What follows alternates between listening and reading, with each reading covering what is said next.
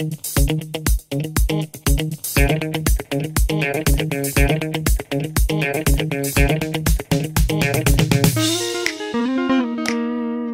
guys and welcome back. It's another beautiful day here out in the wild, 10 minutes away from civilization. I hope you're doing as greatly as I am. I don't know if that's a grammatically correct sentence. I don't care very much. I hope you don't either, neither.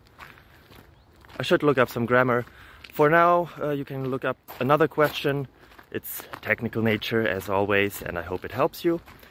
If it does, feel free to leave a like, a comment, subscribe, ring the bell to get notified about every and each other video we do and upload. It would help me a lot. Have a nice day. Bye bye. Nice day.